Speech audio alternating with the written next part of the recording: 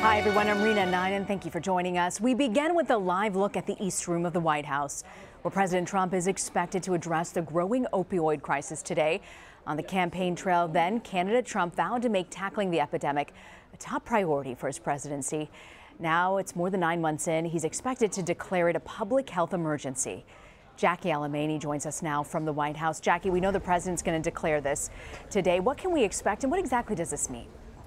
That's right. So, two months after President Trump first declared uh, uh, that he would call the opioid crisis a national emergency in August, the president is finally taking the steps to declare the crisis a, nation, a nationwide public health crisis. Trump, at his event today, will direct his acting HHS secretary to declare the public health crisis under the Public Services Health Act. This does not authorize any additional funding to the opioid crisis, but it does expand some access to medical services like telemedicine services. It directs a shifting of resources within an HIV AIDS grant program to those suffering from substance abuse disorder, and it also directs the Department of Labor to issue dislocated worker grants to those suffering from an opioid addiction with um, additional funding. So, Jackie, why uh, isn't he actually declaring this a national emergency? Yeah, so, well, this is a symbolic first step declaring a nationwide public health crisis. I spoke with many advocates and experts this morning who said that this step does eliminate uh, red tape, but without more money, this really isn't enough. On a conference call with reporters this morning, um, White House officials argued that a public health emergency, as opposed to a national emergency under the Stafford Act, is of better use. Um, the Stafford Act has been employed, as you know, over the past few months with Hurricane Harvey, Hurricane Irma, and Maria. It's typically used in uh, disaster situations and pulls from the Disaster Relief Fund. And White House officials uh, and even advocates were skeptical about applying a national emergency to the opioid crisis simply because it's never been done before. But critics of President Trump say that the, under a public health crisis, he doesn't have uh, wide sweeping enough powers to really make the impact that this administration says they'd like to make. We're looking at a live look there at the East Room of the White House. I, I can actually see Governor uh, Chris Christie there of New Jersey. Looks like uh, uh, not too far there on the third row. You know, there were there were some delays in this, Jackie, of actually declaring this. Why was it postponed? Yeah, it's unclear why this has been postponed. Um, I actually asked President Trump at a press conference last week what the holdup was, and he said that it was a very complicated legal process, a lot of agencies involved, a lot of different layers. We then asked Sarah Huckabee Sanders at a briefing following that um, that press conference what the holdup was, and she said again there were uh, it was an interagency process and it was very complicated. But I've also spoken with former HHS Secretary Kathleen Sebelius, who said that there shouldn't have been a two-month holdup on this. That yes, the pieces are complicated, but if that, if that if people are doing their jobs, this could have been declared rather quickly. There are also advocates on a state level who say that you know what's needed is already known. That the pieces to this to declaring a national emergency are pretty clear and require additional funding. You know things like. Uh, decreasing the price of naloxone, the overdosing saving drug that you can administer to those overdosing from an opioid, um, or even just opening up more treatment beds uh, and expanding access to Medicaid. So it's again unclear um, why this has taken President Trump two months to get to this point. Um, but I also, you know, on the other hand, spoke with HHS Secretary Mike Leavitt, who said uh, at the end of the day, this is a this is a complicated process, and those who say otherwise don't really know what they're talking about. And the initial budget it called for actually cutting resources to the fight for the opioid crisis. Do we know where that actually stands now?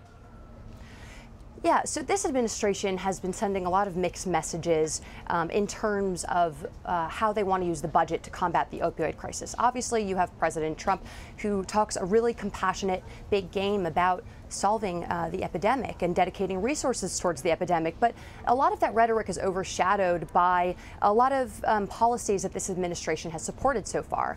Um, like, for example, the Repeal and Replace uh, Health Care Act would have eliminated access to um, treatment. But due to public backlash, a lot of the proposed cuts actually hadn't made it through.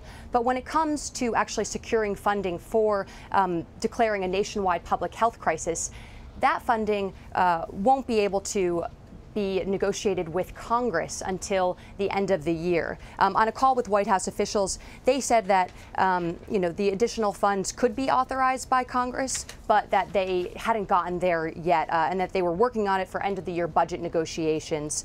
But you know, Patrick Kennedy actually told CNN this morning that we don't need any more photo ops. Patrick Kennedy is a member of the um, president's uh, commission on combating the opioid crisis, and he said he's sick of the photo ops, and really what's necessary for this is an additional two $200 billion to be added on top of the existing budget. And on top of the money, Jackie, there are also several key positions in the administration that would actually be working on it, but they're actually unfulfilled at this point. Is the White House talking about those positions? Yes, they, they touched upon uh, this very large staffing gaps in key administrative posts this morning on a conference call with reporters. Uh, you know, as you all know, there's currently no um, Youth and Health Services uh, Secretary. Tom Price resigned a few weeks ago. Um, the Office of National Drug Control and Policy uh, um, drug czar Tom Marino backed out after a pretty explosive 60 Minutes Washington Post um, uh, report that came out. So they are they, they a lot of key positions that would be driving the leadership in declaring a national emergency or a national public health crisis are missing. But on the call this morning, White House officials blamed Democrats for being obstructionists uh, and said that there are sub cabinet positions um, like a general counsel at HHS uh, or a chief executive officer that that Democrats have been sitting on and refusing to confirm. If you're joining us now, this is a live look at the East Room of the White House where the president will be addressing the opioid crisis. He will be declaring a public health emergency. We're joined by Jackie Alemany from the CBS White House unit team. So, Jackie, we know that the White House has been working with lawmakers to combat this crisis, but what exactly are they doing? Have they talked about any sort of concrete steps they're going to be taking? So the president did establish, one of the first things he did when he came into office was establish a commission on combating the opioid crisis. And this was, uh, this is chaired by Chris Christie, who's going to be at the event today. Uh, as you pointed out, Reena, I think you can see him sitting in the crowd.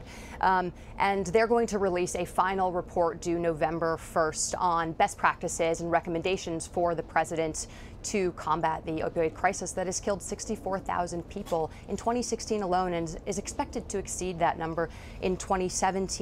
Um, but most of the measures this White House has taken so far has been in the law enforcement realm. Um, the Federal Drug Administration is now imposing requirements on manufacturing on manufacturers of prescription drugs. Um, the DOJ is the Department of Justice is targeting uh, individuals who have contributed to the uh, opioid prescription epidemic. Um, but uh, you know, critics say that there hasn't been enough done on the treatment side, which again requires funding. A former ONDC official told me this morning that there needs to be a more holistic approach uh, towards the crisis that's coordinated with Congress with funding. You're joining us now. We are awaiting the president's remarks addressing the opioid crisis. Jackie Alemany joins us now. Jackie, you go through those. You just ran through the list of things that, that lawmakers want to achieve uh, to help them make a difference in this crisis. But is there a sense of one particular thing or strategy that they feel would really make a dent and a difference in this struggle? Well, as you know, the president uh, talks himself about the wall. Um, you know, as often as possible. He truly believes that securing the southern border um, can really curb the opioid epidemic. Um, but you know, uh, this is a this is a, a supply and treatment issue, right? So um, these steps are necessary, and, and you know experts do give the Trump administration credit for uh, for attacking the problem from that aspect. Um, you know, the State Department has also secured a binding UN agreement, making it harder for criminals to access fentanyl. Um, so they also looked at the fentanyl aspect of this. That's the deadlier um, version of heroin that's been coming in from China.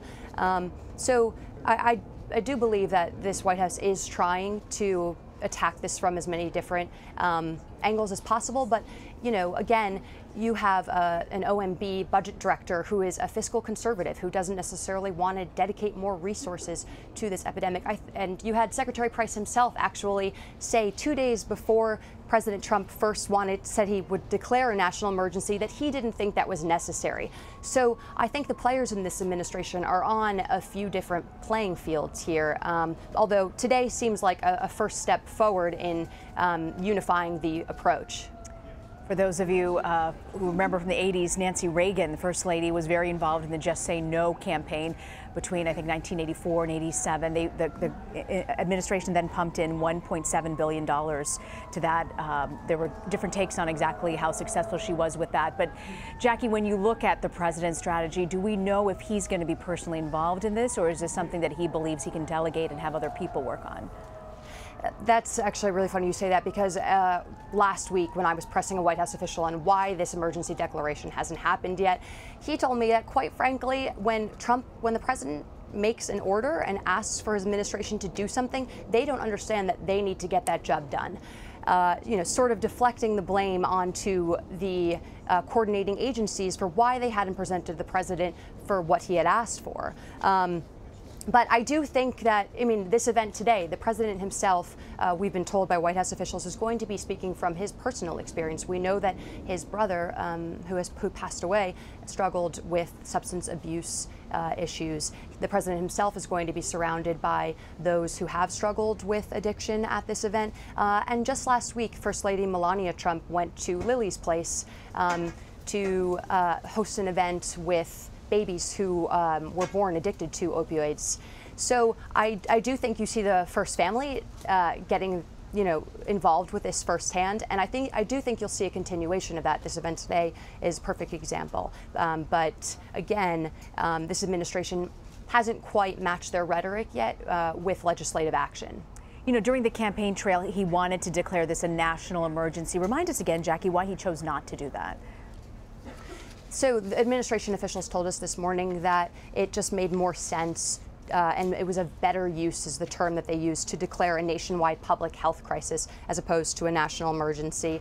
Um, we've only seen national emergency declarations when it comes to natural disasters, uh, which is a you know. Uh, a burst of time um, in a specific geographic location, which isn't what the opioid crisis is. It's a it's a nationwide epidemic, but uh, critics do argue that a national um, emergency declaration could offer the president more wide sweeping powers, like, for example, with the power to lower the price of uh, naloxone, the um, overdose saving drug that, that costs far too much money in the U.S., according uh, to a lot of advocates. Someone told me last week that in Ukraine, for example, um, naloxone costs uh, a dollar. Uh, and, and here that's not the case. Here, the state governments have actually run out of their supply of Narcan and are, are really struggling to combat the epidemic themselves, uh, which is why they need the help from the federal government.